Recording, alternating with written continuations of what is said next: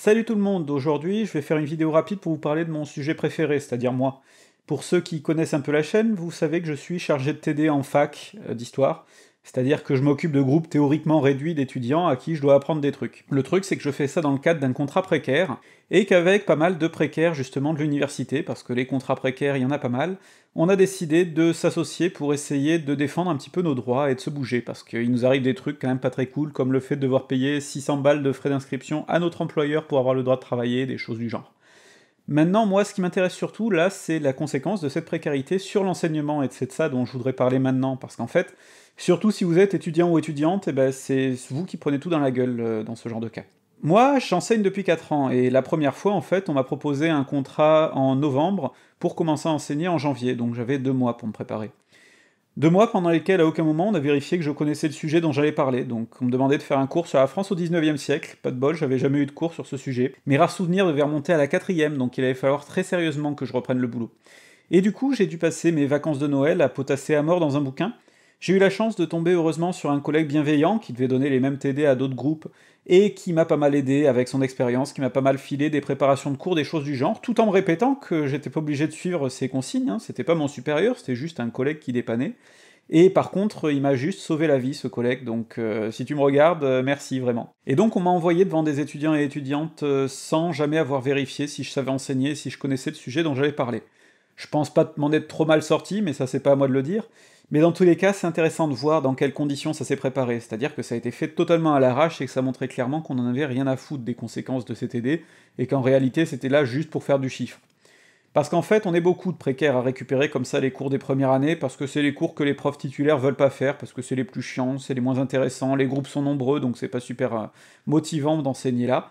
Et donc forcément, on balance des précaires qui ont des, contrats d'un an, deux ans, trois ans. Moi, avec mes quatre ans, je suis un vétéran, en général on reste pas bien longtemps, et donc forcément, ça veut dire que ça fait des équipes qui changent. Moi, chaque année, j'ai eu des collègues différents. Je les connais pas tous, il y en a certains que j'ai jamais vus, je connais même pas leur nom. Et donc forcément, ça veut dire qu'il est impossible de se concerter, ça veut dire que selon les profs que les étudiants et étudiantes auront, bah, ils auront un enseignement plus ou moins de bonne qualité. Il y en a certains qui connaissent la réputation des profs et qui changent de groupe discrètement pour pas avoir tel ou tel. Donc c'est quand même assez problématique déjà de ce point de vue-là. La deuxième conséquence de tout ça, c'est qu'on n'a jamais vérifié non plus que je savais noter les étudiants que j'avais. Et le problème, c'est que la notation, c'est un peu la partie clé à la fac, hein, puisque, en fait, à la fac, on n'y va pas pour apprendre, on y va juste pour avoir un diplôme. L'apprentissage, il se fait par soi-même, finalement. Et le problème ici, c'est que, clairement, les notes, euh, on m'a jamais expliqué comment les donner. Donc on m'a jamais expliqué comment trouver un bon sujet, et on m'a jamais trop expliqué non plus comment noter, tout ce qu'on me disait, c'était à peu près les notes qu'il fallait que j'obtienne pour être dans la moyenne, dans la norme.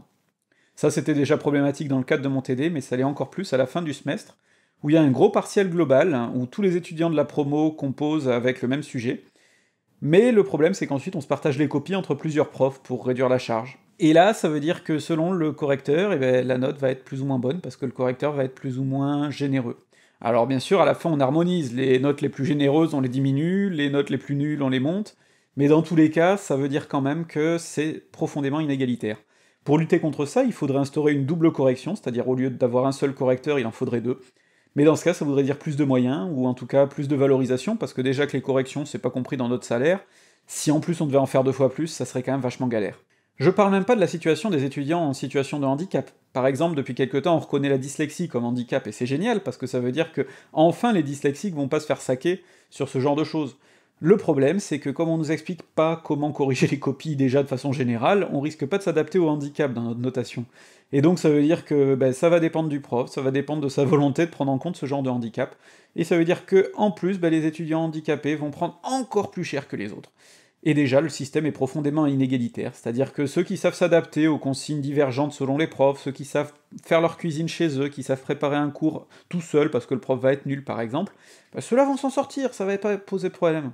Par contre, ceux qui galèrent, ceux-là, ceux qu'on devrait aider si on voulait vraiment que tout le monde puisse réussir, bah ceux-là, on les laisse couler, et limite, on leur tape pas même sur la tête un petit peu pour essayer de les faire lâcher plus vite pour réduire les effectifs. Parce que faut dire ça aussi, hein, quand on a 45 étudiants dans ce qui est censé être un groupe réduit, c'est difficile de faire un cours personnalisé, c'est difficile d'assurer un suivi personnel.